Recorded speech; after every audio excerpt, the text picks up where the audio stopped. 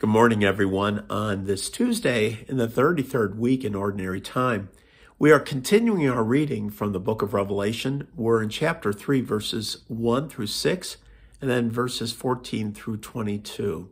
And I might add here, we're not reading about the message to all the churches that John gave. Uh, just we're getting just, you know, some of them. So we have two today.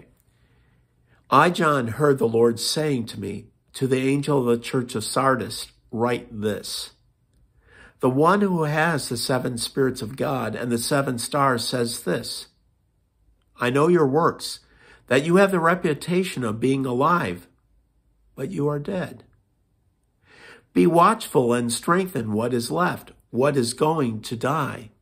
For I have not found your works complete in the sight of my God. Remember then how you accepted and heard, kept it, keep it, and repent. If you are not watchful, I will come like a thief, and you will never know at what hour I will come upon you. However, you have a few people in Sardis who have not spoiled their garments. They will walk with me dressed in white because they are worthy. The victor will thus be dressed in white and will never erase his name from the book of life, but will acknowledge his name in the presence of my Father and of his angels. Whoever has ears ought to hear what the Spirit says to the churches. To the angel of the church in Laodicea, write this The, the Amen, the faithful and true witness, the source of God's creation, says this I know your works. I know that you are neither cold nor hot. I wish you were either cold or hot. So because you are lukewarm, neither hot nor cold, I will spit you out of my mouth. For you say, I am rich and affluent and have no need of anything, and yet do not realize that you are wretched, pitiable, poor, blind, and naked. I advise you to buy from me gold refined by fire, so that you may be rich in white garments to put on, so that your shameful nakedness may not be exposed, and buy anointment to smear on your eyes, so that you may see. Those whom I love, I reprove and chasten. Be earnest, therefore, and repent. Behold, I stand at the door and knock. If anyone hears my voice and opens the door, then I will enter his house and dine with him, and he with me. I will give the victor the right to sit with me on my throne, as I myself first won the victory and sit with my Father on his throne. Whoever has ears ought to hear what the Spirit says to the churches.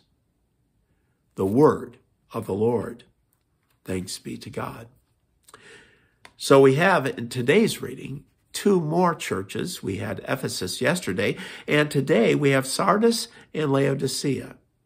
So we have in Sardis, it is a problem of their garments no longer white. Now, typically for baptism, there is a white garment that is put on. That means we have been cleansed from all our sins. And if it's, well, no longer white, that means sin has taken its place and has spoiled the garment. So, the important imperative on here is to not have a, a dirty garment.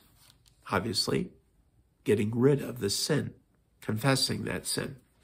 And then we have from Laodicea a sort of a, the lukewarm, neither hot nor cold, just lukewarm, going through it and uh, assuming that they're rich, but in fact being quite impoverished.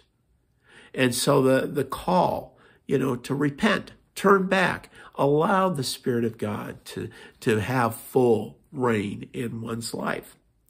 And and it ends with that beautiful picture. And in fact, there's a, a painter who once did it, you know, of Jesus standing at the door of one's heart, just knocking, ready to come in, ready to dine will we allow him to come in and dine with us? Stay safe, folks. Hopefully, we'll see each other soon. Bye for now.